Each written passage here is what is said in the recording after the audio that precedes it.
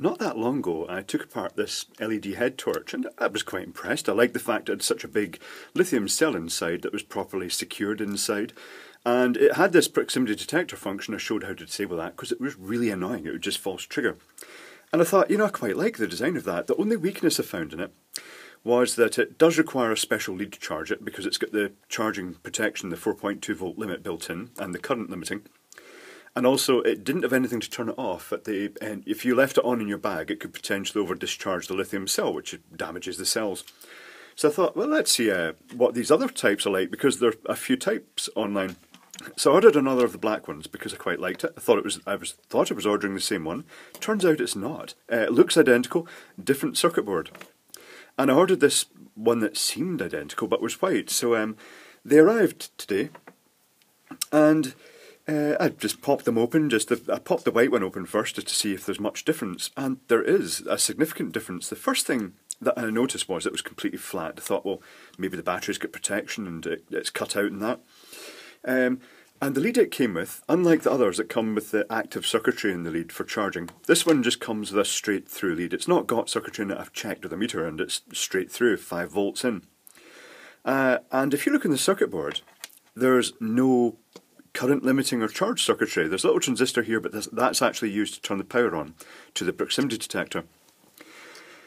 So uh, basically speaking, the input port goes straight to the lithium cell.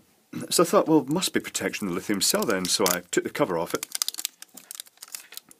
peeled back the tape, which is quite sticky tape, noting in this instance that the case of the lithium cell is actually negative,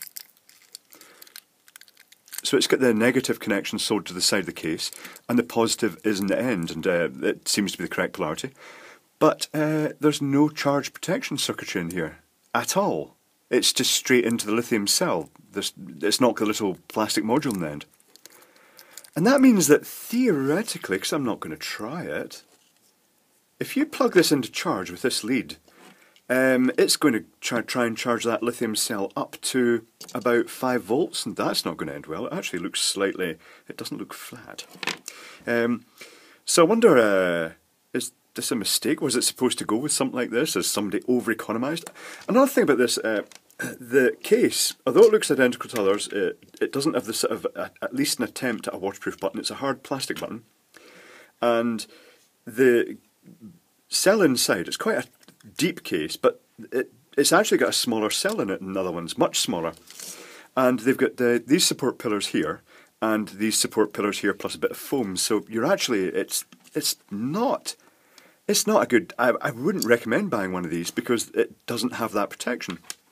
So moving on to the other one that uh, arrived, I thought this was just going to be the same as this, but it turns out that all these units have different circuit boards.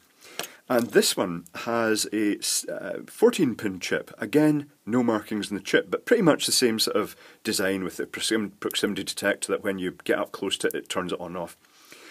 But uh, this one has the uh, 4.2 volt and current limiting charging supply, and I might be wrong, but I think there's a little circuit board in here, so um, I'm thinking we should actually cut this open and take a look.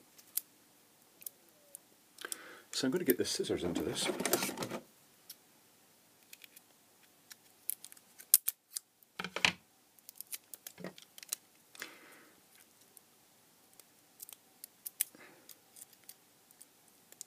Now is that just termination or is that actually control circuitry? That has full circuitry on it. I can see the chip underneath and a little, uh, well that looks like a little MOSFET driver up here for switching uh, underneath here and it looks like the wee control chip, the is it DW01? So this one does actually seem to have the charge protection and this one too came absolutely flat but burst into life very quickly when it was charged, suggesting that I just automatically cut off.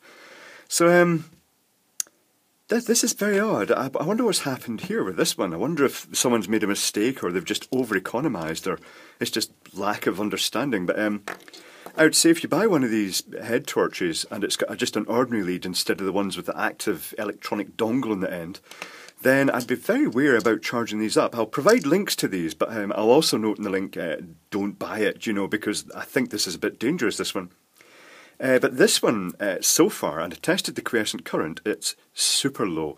This one is the winner so far, but the problem is, because they all look identical, you just don't know what you're going to get. So, um, yeah, it's, it's kind of interesting to see that there's so many variations on this design. Oh, this one also has one little extra feature. It comes with the, um, the bung that goes in here that you can actually put into the socket. I mean, the thing isn't waterproof, but at least that does make an effort to stop, you know, splashes or sand going into the um, charging port. So yeah, uh, this is my favourite so far, but um, very suspicious about that one.